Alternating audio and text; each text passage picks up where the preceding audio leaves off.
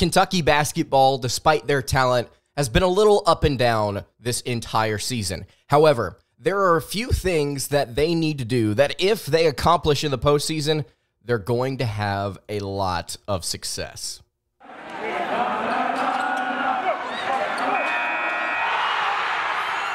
You are Locked On Kentucky, your daily podcast on the Kentucky Wildcats, part of the Locked On Podcast Network. Your team every day. All right, what's going on, Big Blue Nation? Welcome on into Locked On Kentucky, your daily Kentucky Wildcats podcast. I'm your host, Lance Dawe.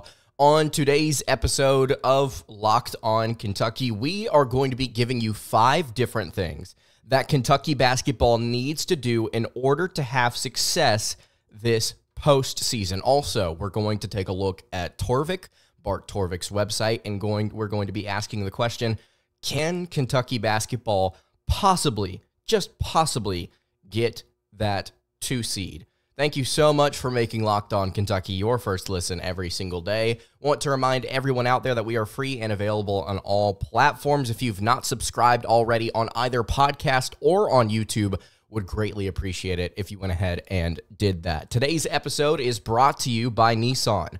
Are you the kind of driver that likes to push things a little further? Ever wonder what adventure could be around the next corner? Take the Nissan Rogue, Nissan Pathfinder, or Nissan Armada and go find your next big adventure. Check them all out today at nissanusa.com.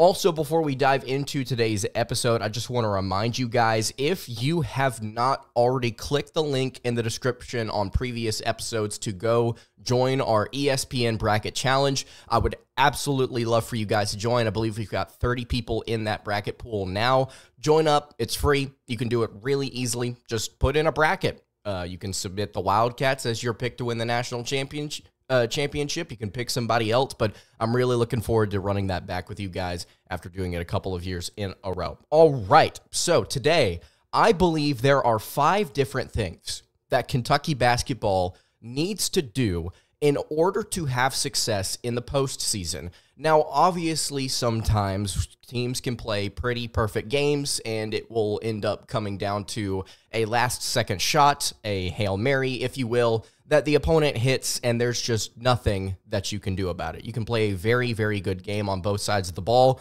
against a really good opponent and still find yourself on the losing end. However, I think if Kentucky sticks to these five different things, they're going to have a lot of success. Uh, most of these things in here um, are not the ones that kind of go without saying. Obviously, Kentucky needs to continue to shoot well on offense as they have all season long. There's one in here um, that that's kind of that's kind of a given. Um, it's actually the most important one. I'm going to do these and uh, rank them from least important to most important here. Um, but the Kentucky Wildcats, I think, again, if they if they get some of these things done, that some of them that they don't do particularly well, I think they're going to win some games. Starting here at the very top, the least important thing, but also one of the most important things out of this, obviously because it's in the five here. Kentucky needs to do a good job of protecting the rim without fouling. If you go and look at Kentucky's KenPom numbers, they're actually pretty solid at protecting the rim in conference play. They were fourth in the SEC in two-point defense, and they were third. They are third nationally in block percentage. They've got a lot of different really tall dudes on this roster that on occasion can play really solid rim defense. We're looking at particularly uh, Ugonna Onyenso, who has emerged as Kentucky's primary center over these last few weeks. If they can continue to get that going, against some of these teams in the NCAA tournament, I think especially early on, they're going to find success. Why? Because you're going to run into some team in the first round that, although they may have some crazy shot making ability from outside the arc, they're not going to be statistically as efficient, nowhere near as efficient as Kentucky is at taking and making those shots. And they're going to try and do some different stuff around the rim to make sure that they can stay in the game if Kentucky is able to not completely eliminate, but hold down that area of their game, I think they're going to have a lot of success. And if Kentucky ends up making it to the very end of the NCAA tournament against a team like UConn or Houston, they're also going to really need to rely on their rim defense. Rim protection defense, I think, is going to be very important without fouling. Do not put these teams on the charity stripe. Second thing here that I want to talk about, and this kind of goes hand in hand with the charity stripe don't choke on your easy opportunities. This is something that sometimes Kentucky has struggled with this season, especially late in games where the game has essentially been won, and Kentucky almost seemingly does everything in their power to kind of let the game go awry and let it be a little bit more chaotic than it should be. I'm talking turnovers, missed free throws, missed wide open shots, missed wide open communications on defense. Kentucky has to do a better job of cleaning these things up at the very end of the game. They, they've proven they they have the ability to do it for a full 40 minutes, but sometimes sometimes in these big environments things do kind of break down quicker than I think this team and this program want them to. So not missing your free throws late, and I'm not saying you have to hit every single free throw in the second half. I'm just saying you can't go and take 15 free throws and miss 7 of them. You have to be able to go out there, miss 6 of them for that matter. You have to be able to go out there and execute in these clutch moments. Do not choke whenever given an easy opportunity to score or to make a play or to close the game out for that matter.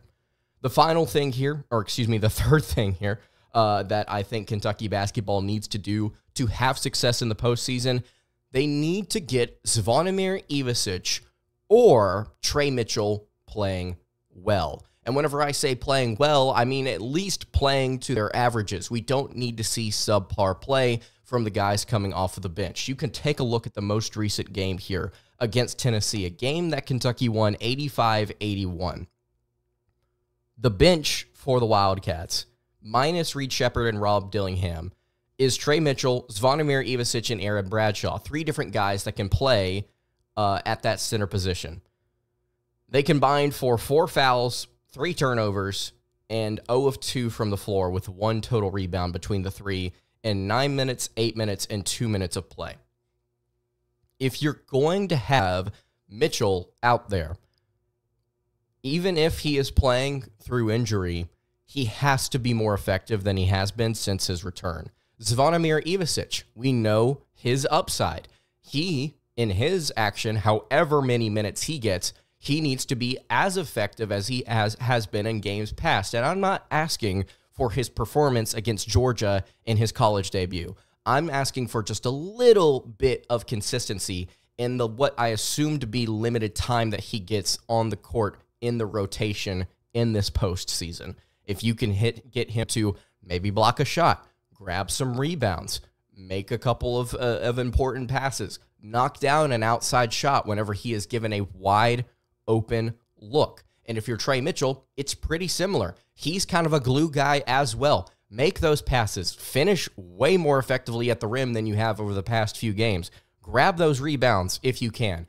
If Tre Mitchell is not healthy, I would look to Zvonimir Ivisic to play a little bit more, just simply because of the lack of effectiveness that Mitchell has had on the court over these past few games when he has been unhealthy. So those are my first three things that Kentucky basketball needs to do to have success in the postseason. And I'm ranking these from least important to most important. So getting Ivisic or Mitchell Mitchell playing at least at an average level, I think is going to be very important to kind of bring them alongside this front court rotation with Ugo because there are going to be games where Ugonna does not have the answer and somebody needs to step up and make a play in that front court. One of those two guys needs to do it. Let me know what you think about those in the comments below. If you're listening on podcast at Locked On UK, is where you can give some answers. All right, we're going to continue along here and talk about two more different things Kentucky has to do to have success in the postseason. Before I dive into those, though, I want to tell you guys about our friends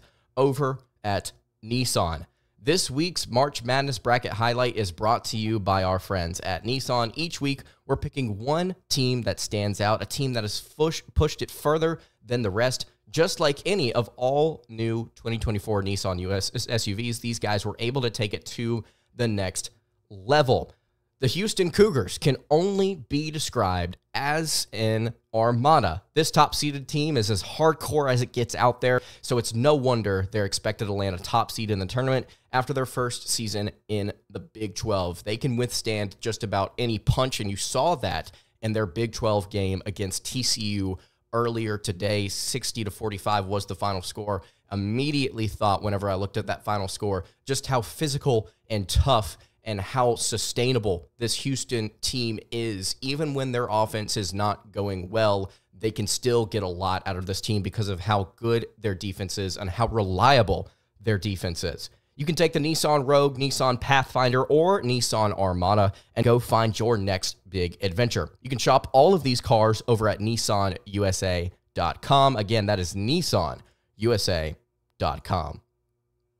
All right, continuing along here on the Thursday edition of Locked On Kentucky. Lance Dawe hanging out here with you. Really appreciate you, you guys checking out the show today. If you have not subscribed on either podcast or on YouTube, would greatly appreciate it. Almost to 7,500 subscribers on YouTube, which is just insane to think about. I'm so excited to get to that number. I'm really excited you guys have joined up recently. If you're new to the channel, what's up? Glad to have you. If you're old to the channel or there's the podcast feed, and I know some of you have been watching for quite some time now, really appreciate you checking us out.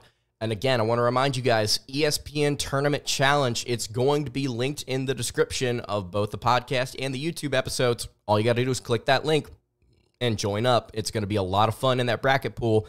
30 people already. I believe we had 50 last year. Doesn't necessarily matter the size of the group, but again, if you want to get in on it, it's free. It's going to be super awesome. And uh, again, links is in in the description. I would encourage you to go check it out. So we've got five things Kentucky basketball needs to do to have success in the postseason. We've gone through three protect the rim without fouling, don't choke on easy opportunities, and get Zvonimir uh, Ivisic or Tre Mitchell performing well. Here are two more things that I believe Kentucky needs to do to have success and win in this postseason, both in the SEC tournament and the NCAA tournament. They need to rebound better on both sides of the floor. And in turn, I think that means they don't allow second chance points. Again, you can head over to KenPom to look at Kentucky stats here, and this is something that they don't do very well. They're 172nd on offense and offensive rebound percentage, which is right about average, but it's 10th in the SEC if you look at conference only stats. If you look on the defensive side of the floor, Kentucky is 227th in offensive rebound percentage, meaning they give up a lot of second chance opportunities. It's gotten better in conference play. It's just it is sixth in the SEC, so that is above average in the Southeastern Conference.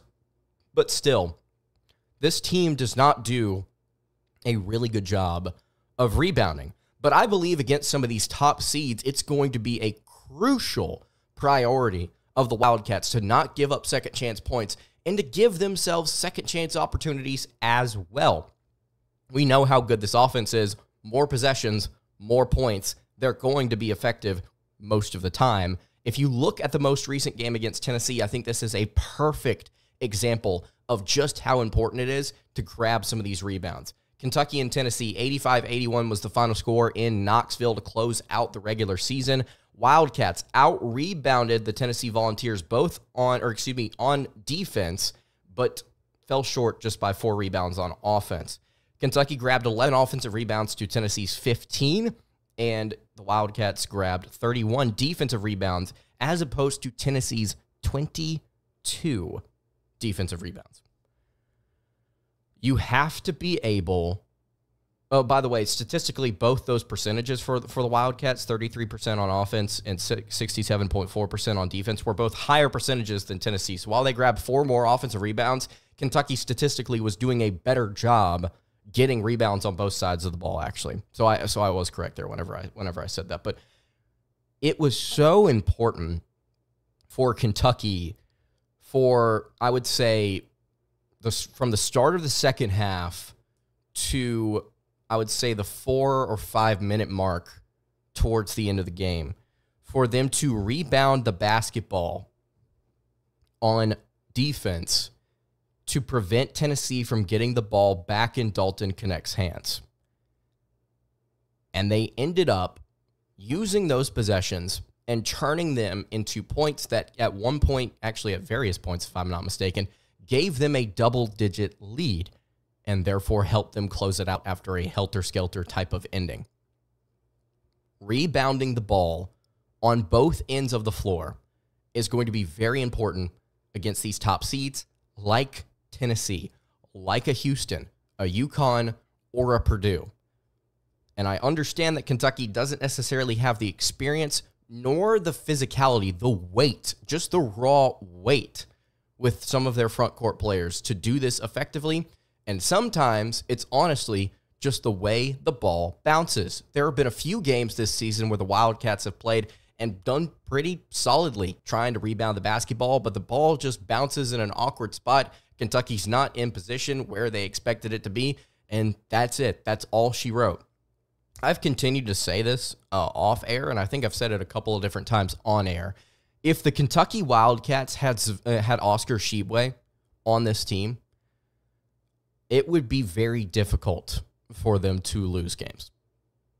Just, just, just straight up, you're not going to out rebound Kentucky. You're not going to outshoot them.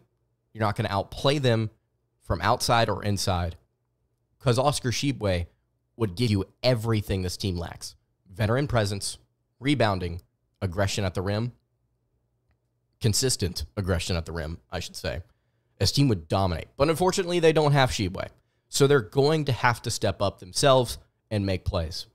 Grab those defensive rebounds. You can't have your guards out rebounding your front court players every single night. It just can't happen like that. You're not going to be able to sustain that. And I think Kentucky knows that, to be honest with you. But grabbing rebounds, crucial. And then the final thing here, and I think this is the most important, and this is your gimme here. This is something that has been happening all season. And I think Kentucky needs to really put a focus on. The Wildcats need to keep Antonio Reeves going. He, so far this season, has proven to be way more consistent than he was a year ago. He's one of the best scorers, not just in this conference, but in the SEC. And his outside shooting, while very good, has not been the focal point of his game this year. It has been getting to the rim and finishing with effectiveness. You look at that game against Kansas State, I'll actually go ahead and pull this box score up after Kentucky lost 75 to 69 in the th- round of 32. Antonio Reeves, 0 of 5 from inside the arc, one of 10 from outside, one of 15 from the floor in, I believe, yes, 30 minutes of play. That cannot happen again. Point, just straight up, point blank, cannot happen again. Kentucky has way too good of a chance to make a deep run for a a random poor shooting performance to take them out.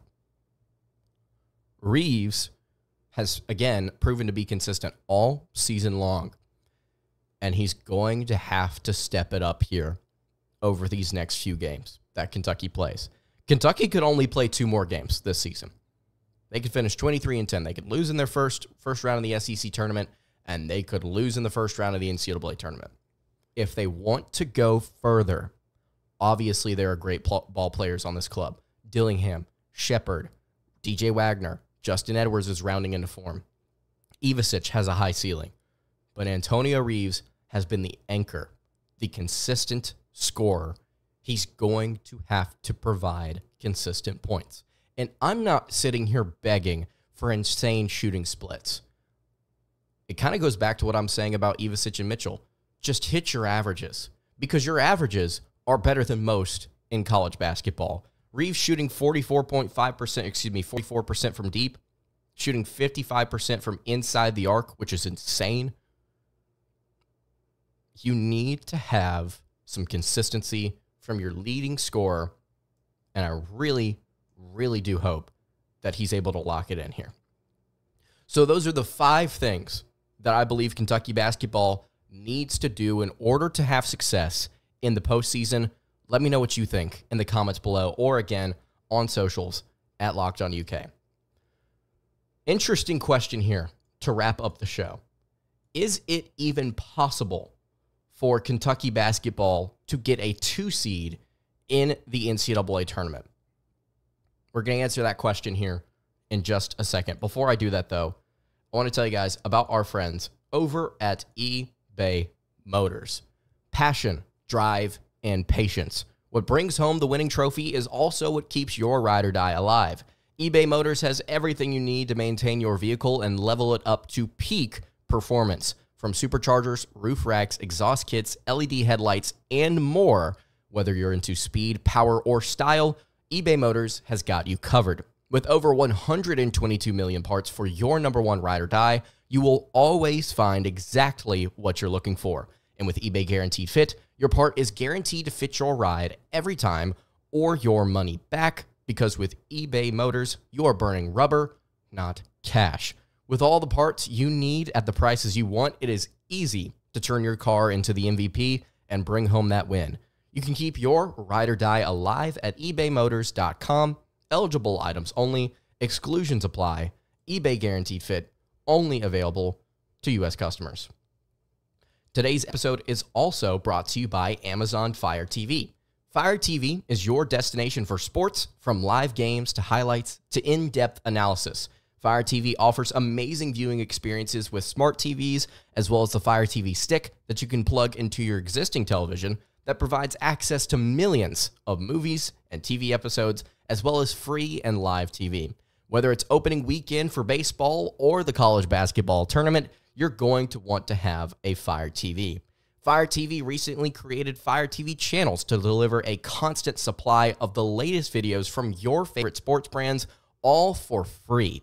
That includes all of us here at Locked On and most of the big pro leagues and college conferences as well.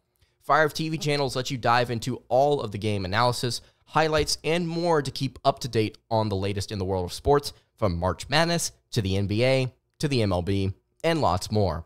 Not to mention great news, entertainment, gaming, travel, and cooking videos as well. You can check out Fire TV channels on Fire TV and Alexa devices. And if you haven't checked out Fire TV channels, you should. Trust me on this. To learn more, visit amazon.com slash locked on fire TV.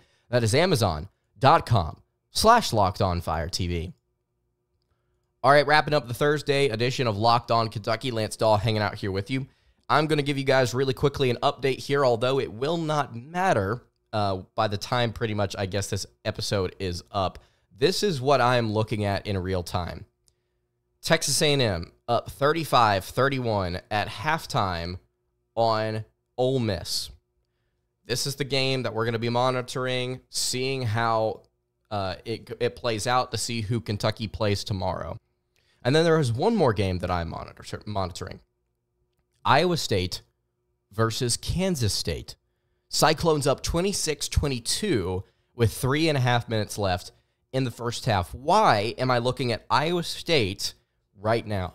Well, it has a lot to do with the fact that Iowa State is currently a two seed in the latest ESPN bracketology. And that is the team that is ranked just above the Wildcats. When you look, or excuse me, they are ranked as, oh, I messed this up. Iowa State is ranked as the as a three seed, the top three seed, narrowing in on a two seed. Kentucky is right behind them on that three seed line. And if you go and look at Lunardi's rankings, he he ranks the top 16 teams in order, not just on their seed line as well. Uh, Iowa State is ninth, Kentucky is 10th. So we're looking at here Kentucky's potential opponent for tomorrow in the SEC tournament. And we are also looking at Iowa, or excuse me, Iowa State, who is pushing to get that two seed alongside the Kentucky Wildcats if they make a run in the Big 12 tournament. Now, the question here is even if Iowa State plays well, can Kentucky get a two seed? Well, I want to head over to our friends over at Bart Torvik. I say friends, they don't actually know us but they have a teamcast thing, as we have discussed here on the show before, and it allows you to predict the not just the entire season, but also the postseason. And now that the regular season is over, we get to see where Kentucky would be if they win the SEC tournament. According to Torvik, if Kentucky wins their first game against Texas A&M, they win their second game against Alabama, and then they win their third game against the Tennessee Volunteers. I plugged all of this in here. I will hit submit and see what the model says. Kentucky at that point would be 9 and 5 in quad 1 games and they would be just outside the 2 seed line as the best 3 seed. And it's actually pretty funny if you look at the stats here. I believe their stats are comparable to um to Creighton and Marquette who are right there uh, underneath or above rather the Wildcats, which I think is kind of funny. But Kentucky would be right there, barely, barely, barely outside of the two seed line. And I still think, I still think, even if this happens, I think if this happens and Kentucky's able to beat Alabama and Tennessee, I think Kentucky would have a better shot at this than even the computer models think. Nine quad one wins. You're coming into the tournament hot. Uh, something that has been discussed on social media recently is how much is the NCAA tournament going to take into account, the committee, I should say, how much are they going to take into account the fact that teams like Kansas are severely injured right now? By the way, if you didn't see it, they lost to Cincinnati by 20 in the first round of the Big 12 tournament. Um, funny to me personally. Um, but how much are they going to take that into account when seeding these injured teams? Because I'll guarantee you, Calipari should make an argument, or I, I, I think that he should make an argument. I can almost guarantee you that he will make an argument for Kentucky, who has essentially not been healthy all year, and they've been able to win games and they've been able to, to play just fine despite that. So I think there's going to be a little bit of that factored in, into it if this is the scenario that plays out. And to be honest with you, I think that getting that two seed, uh, I, it, after looking at some of these different draws, it may not be as important as we really think because some of these some of these six seeds may honestly be a little bit weaker, in my opinion. Some of these six seeds may be weaker than some of these seven or tens some of these seven or tens, Florida. I'm looking at, and they, they, I, do, I don't want to touch that with a 10 foot pole. Nope, nope, nope, nope, nope. Don't want to touch it. Don't want to play it. No, sir. I will, I will gladly take San Diego State. Thank you very much. Have a nice day.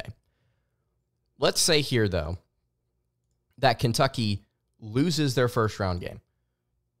Texas A&M is currently up on Ole Miss at halftime, and I don't know the outcome of that game yet. So let's just say they lose to Texas A&M in their first round at a neutral site. If I'm not mistaken, Kentucky would then be six and six in quad one, and they would drop to a four seed. They would drop from what what they currently are, which is the second best three seed, to the second best four seed. They drop a whole clean seed line. Three different SEC teams, by the way, uh, on that four seed line: Alabama and Auburn. Um, that's not going to happen. You're not going to have three different teams from the same conference on the four seed line. If anything, Kentucky would be a three seed. Um, Kansas is a four seed. Illinois is a three seed. Yeah, K- Kentucky would be a three seed in that scenario. They'd be the best out of those three teams in the conference. I highly doubt the selection committee lets that happen. So there you have it. Um, the computer model thinks it's barely out of reach for the Wildcats. I still think it's in reach because of a few different factors in play going to continue to monitor these games. Obviously, we're going to talk about tomorrow's matchup whenever this game actually uh, ends or uh, finishes, I should say, between A&M and Ole Miss. And I think that's going to do it, though, for today's episode of Locked On Kentucky. You can follow the show on Twitter at Locked On UK. You can follow me on Twitter at Lancedale underscore, and you can follow the show over on Instagram. That is at Kentucky Podcast. Any questions, comments, concerns, leave those in the YouTube comments below. Hit me on the socials. I will see you all tomorrow for another episode of Locked On Kentucky. Hope you guys have a great rest of your day, and God bless.